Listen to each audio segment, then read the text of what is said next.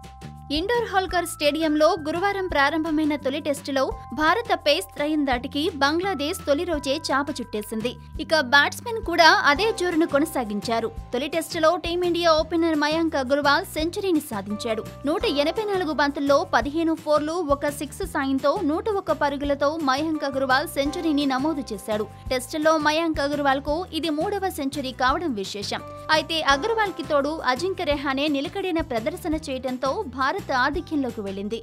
అయితే ఈ రోజు ఉదయం ఎనభై ఆరు పరుగులతో ఇన్నింగ్స్ మొదలుపెట్టిన టీమిండియాకు ఆదిలోనే షాక్ తగిలింది. యాభై నాలుగు పరుగులతో దూకుడుగా ఆడుతున్న ఛతీశ్వర్ పుజారా అబూ బౌలింగ్లో పెవిలియన్ చేరాడు. అయితే పుజారా కేవలం అరవై ఎనిమిది బంతుల్లోనే అర్ధ సెంచరీని సాధించాడు.